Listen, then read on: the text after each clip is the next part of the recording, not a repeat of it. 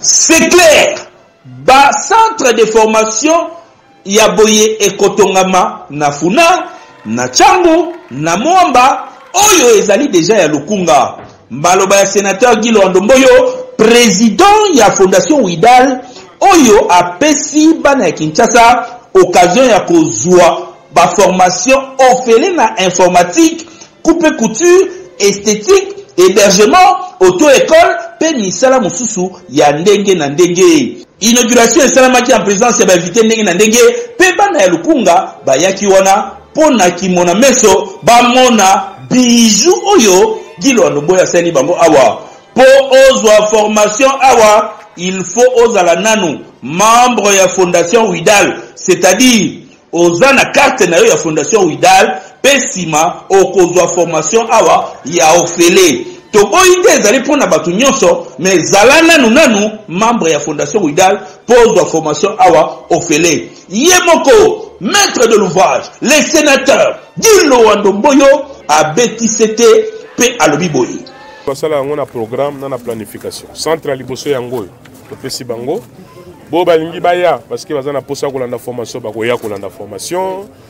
fondation boyebi toza na bisi na biso hein? problème ya transport ya bamembre ya fondation eza problème te tozali na bisi ya près de 70 place eyi kosalaka eh, navette ya bamembre na biso kolongwa awa ti kozongisa bango na bandako wana ezali likambo ya motuya te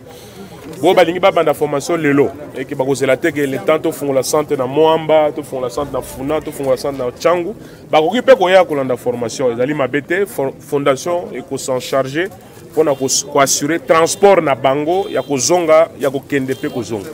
mais objectif ezali ete na mikolo ezali koya tofungola mpe bacentre na bisika bizali mais bo bazali presse bakoki koya na bango ezali ya bango tosali yango mpo na bamembre mpo na kohonore engagement mpe promesse topesaki bamembre na biso ya fondation widal tala esika wapi moto nyonso azali na karte ya membre akoyoka lolendo mpe avantage nini ya kozala membre ya fondation widal centre oyo ezali ya bango lupangu bamateriel nyonso totyango na disposition na bango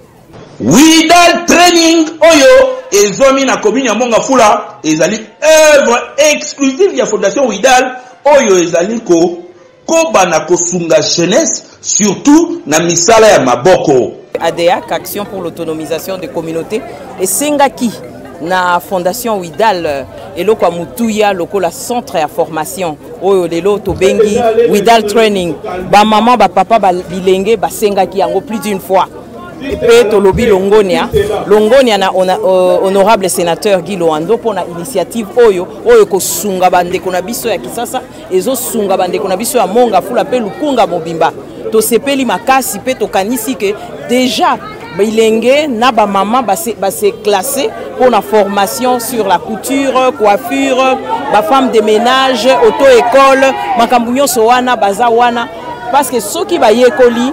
bakozwa mosala eloko oyo topesi bango eza motuya makasi en tant que représentante ya ada ki association na monene oyo eza na kinshasa mobimba mpe na, na bamboka mipaya napesi merci na fondation guiloando nasepeli mingi mingi mpenza nayebaki tata na ye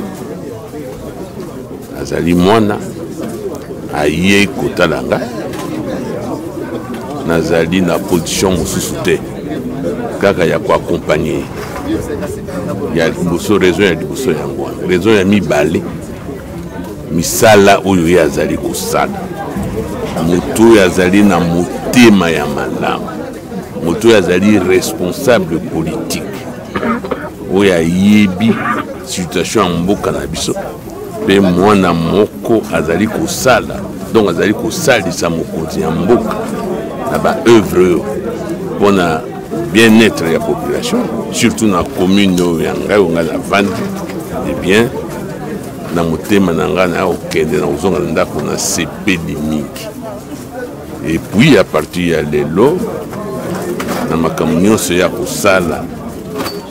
boyebaka que présence ya patriarche Bofasa Djema ezali non seulement acquise mais ezali requise.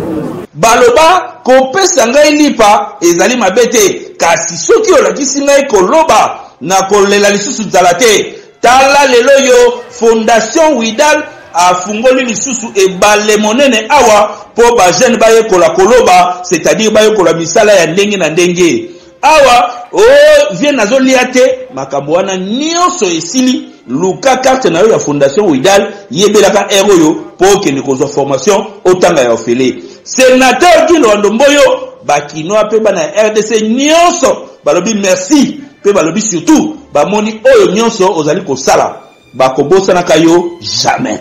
Oui!